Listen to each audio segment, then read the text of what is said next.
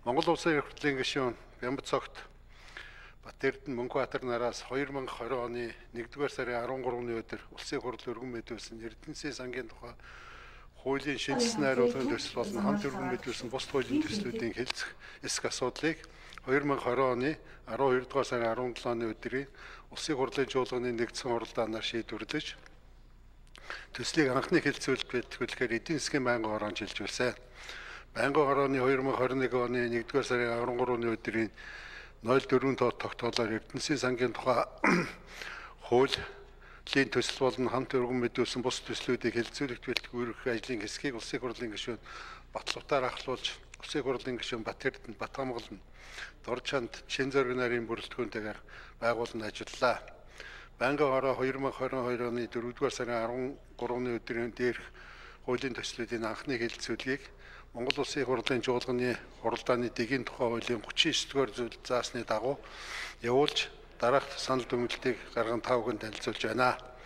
Байнгын хорооны хуралдаанаар төслүүдийн анхны хэлэлцүүлэг явуулах үед ажлын хэсгээс бэлтгэсэн зарчмын зориутой санал нэг бүрийн хэлэлцэн хуралдаанд орсон гишүүдийн олонхын саналаар дэмжлээ. Тухайлбал Эрдэнэсийн сан Эрдэнэ судалтанд авахд санал дүгнэлт гарах, чиг үүргөхийн мэрэгжлийн зөвлөлтэй байх өгöd мэрэгжлийн зөвлөлийн бүрэлдэхүүн ажиллах журмыг Монгол банкны ерөнхийлөгч батал баталдаг байхаар шинээр нэмж тусгасныг хуралдаанд орсон гишүүдийн олонх дэмжсэн болно. Эрдэнэсийн сангийн орлого нь иргэн хуулийн этгээдээс төр тодтолцсон болон бэлгэлсэн, хандиулсан, хууль тогтоомжийн дагуу шилжүүлсэн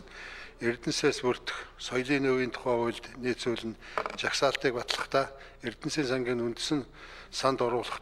түүх соёлын хосгүй өнөд дурсгал зүйлийн талаар Монгол банкнд засгийн газар санал гаргах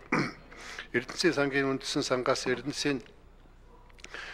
Эрдэнэсийг зөвхөн гадаад худалдах, гадаадаас худалдан авахаас авахар байсныг гадаад дотоодгүй худалдах, худалдаж авахар Монгол банкны Эрдэнэсийн Эрдэнэсийг эзэмших шөрөнчлөгч иргэн хуулийн этгээдтэй байгуулсан гэрээний үндсэндээр хадгалах түүнтэй холбоотой ажил үйлчлэгийг үзүүлж болохоор өөрчлөн найруулах саналыг бэлтгэснийг хуралдаанд оролцсон гишүүдийн олонх дэмжлээ. Эрдэнэсийн сангийн тухай Эрдэнэсийн сангийн үйл ажиллагаа түүний орлого зарлагыг нийт дийл болгож байгаатай холбогдуулан засгийн газар үндэсэн сангийн жилийн орлого зарлагын хэмжээ болон гүйцэтгэлийн тайлантай танилцах заалтыг хасах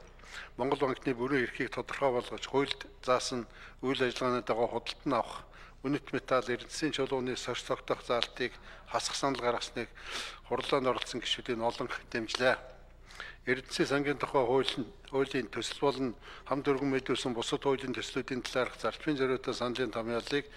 байнгын орооны санал дүгнэлтийн хамт тав их дараасан. Улсын хурлын эрхэм гишүүдээ Эрдэнэсийн сангийн тухай хууль хуулийн төсөл, эрүүгийн хууль нэмэлт өөрчлөлт оруулах тухай, гайлын тариф, гайлын татврын тухай хууль нэмэлт өөрчлөлт оруулах тухай, ашиг нотгуулын тухай хууль нэмэлт өөрчлөлт оруулах тухай, төрийн болон албаны нууцын хууль тухай хуульд өөрчлөлт оруулах тухай, зөрчлийн тухай хуульд өөрчлөлт оруулах тухай, ашиг нотгуулын тухай хуульд нэмэлт өөрчлөлт оруулах тухай, нэмэгдсэн өртгийн албан татврын хуульд нэмэлт өөрчлөлт оруулах тухай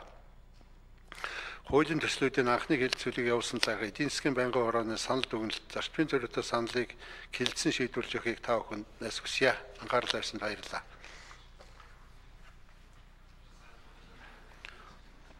За зарчмын зорилттой саналын томьёолоор санал хураалтын болно 19 санал байгаа.